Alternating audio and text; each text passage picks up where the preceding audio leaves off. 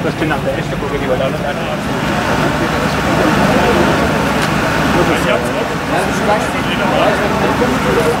Peter Sander, Kommandant von der Feuerwehr Ditzingen.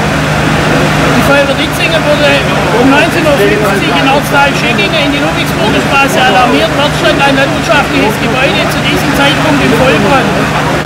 Durch den ersten Angriff konnte ein Übergreifen auf benachbarte Gebäude verhindert werden. Personen waren keine in Gefahr, der Hausbesitzer war außer Haus und seine Frau hat es rechtzeitig bemerkt und konnte das Gebäude verlassen.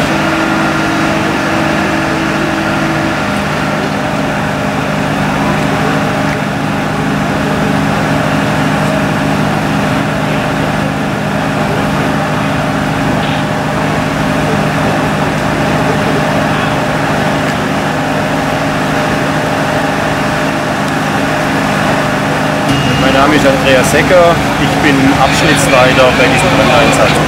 Wir sind der Ortsmitte von Tschöckingen, da gab es gegen Viertel vor acht ein Feuer, das wurde gemeldet als äh, Vollbrand eines landwirtschaftlichen Gebäudes. Bei unserem Eintreffen stand eine Scheune und das angebaute Wohnhaus bereits im Vollbrand. Insbesondere der Dachstuhl war von den Flammen erfasst. Äh, sind aus dem Grund konnte die Anfahrt auf Sicht erfolgen. Äh, man hat es in Ditzingen bereits gesehen, den Feuerschein, und es ist vom Einsatzleiter auf der Einfahrt veranlasst worden, dass weitere Kräfte zur Unterstützung nachrücken. Das Problem war die sehr dichte Bebauung im Ortskern von Schöckingen, äh, alter Hausbestand, viel Holzscheunen äh, in der Umgebung, sodass anfänglich ein großes, eine große Gefahr war, dass das Feuer übergreift. Zusätzlich bestand nur ein starker Funkenflug, der natürlich auch weitere Gebäude gefährdet hat.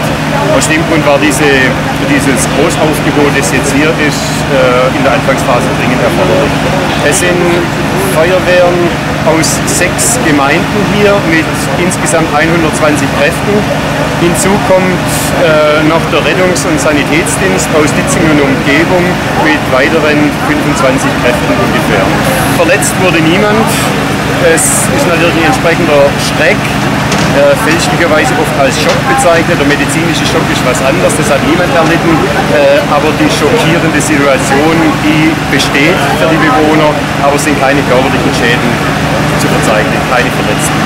Äh, die Brandursache und die Brandentstehung oder der Brandherd sind bisher unbekannt. Es ging wohl los im Bereich dieses Scheunengebäudes, aber was den Brand ausgelöst hat, lässt sich für die Feuerwehr nicht erkennen. Da werden sicher umfangreiche kriminalpolizeiliche Ermittlungen stattfinden. Äh, es war der Brandherd in dem Scheunengebäude, da stehen landwirtschaftliche Geräte drin, Stroh und Heu ist gelagert, aber die genaue Brandentstehung ist uns nicht bekannt. Das ist eine, ein altes Gebäude, an dem die Scheune ans Wohnhaus angebaut ist. Es gibt eine Brandwand, wie sie zur damaligen Zeit üblich war. Ja, diese Wand hat gehalten, beziehungsweise die Feuerwehr musste das unterstützen. Das heißt, da war auch in dem unversehrten Teil des Gebäudes waren von Anfang an Trupps und Atemschutz im Gebäude und haben versucht, diese Wand zu kühlen, dass also ein äh, Brandübergriff auf, das, auf diesen Gebäudeteil, dass der vermieden werden konnte. Die Wohnräume sind geschützt worden. Im Bereich des Dachstuhles ist ein Teil dieses Wohntraktes erfasst von den Flammen, äh, aber die Wohnung ist auf jeden Fall vom Feuer verschont. Es laufen jetzt noch umfassende Nachlöscharbeiten. Nachlöscharbeiten heißt, man muss in allen Bereichen, die brandbeaufschlagt werden, muss man hinsehen. Das heißt, man muss das Dach abdecken in dem Bereich, man muss Wände öffnen und gucken, ob da noch Blutnester drin sind. Und ich gehe davon aus, dass diese Maßnahmen sicherlich nur in der Größenordnung von drei bis vier Stunden andauern werden. Es wird danach wohl eine Brandwache über Nacht vor Ort bleiben, nicht dass an irgendeiner Stelle eine andere Blutnester aufschlagen können.